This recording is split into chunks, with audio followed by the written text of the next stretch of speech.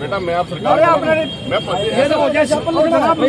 Meeting हो रही है खत्म हो जाए आराम से बात लिखो मेरे को दे दो मैं रिसीव करूँगा और पहुँचा दूँगा। बेटा बेटा पक्की बात होती है। रहा हूँ। आपको हाँ बोलो।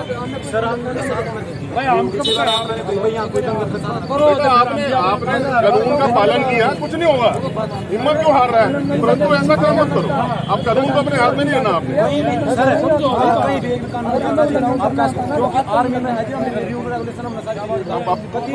आपका पूरा ध्यान रखेंगे अपना अपना जो रिप्रेजेंटेशन है वो लिख दो।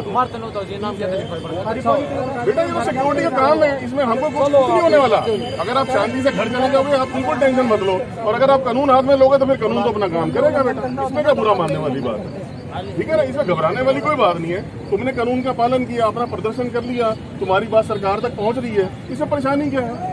आप अपना लेकर मुझे दो मैं सरकार तक पहुंचाऊँगा आपकी बात। कहोगे जी दस साल हो लिए कम से कम नौ साल छह महीने एक महीना कुछ मतलब कुछ करके मैंने नौकरी की तैयारी करना है। आर्मी की इतना मैंने तैयारी करी।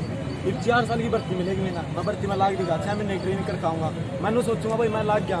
लेकिन उसके बाद क्या टेंशन होगी अरे कभी चार साल पीछे मैं भी निकल जू पच्चीस में ना सिलेक्ट करके जी मैं पच्चीस साल का मैं इक्कीस साल का हूँ पच्चीस छब्बीस साल का मैं निकल का आऊँगा। पच्चीस छब्बीस का निकल का मैंने ट्वेल्थ करा कि ग्रेजुएशन तो मैंने करी नहीं आर्मी में ज्वाइन हो गया।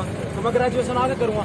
दो तीन साल की ग्रेजुएशन वो जब ग्रेजुएशन करके मैं तीस साल का नौकरी कहाँ ढूंढूँगा जो सरकार की जो पॉलिसी मेकर्स है ना उन्होंने सबका मैं ये नहीं कहता सरकार ने कुछ सोच समझ का पॉलिसी बनाई है आप जब आप बोल रहे थे मैं सुन सुन रहा था।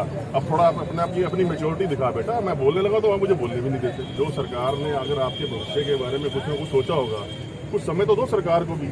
आपने अपना प्रदर्शन कर लिया। ये अब अगर सरकार ने अगर अगर ये डिसीज़न लिया है तो आपका आपका भी बात सरकार तक पहुँच रही है। तो थोड़ा सा संयम तो रखो। कानून को अपने हाथ में लेने क्या फ़ायदा बेटा?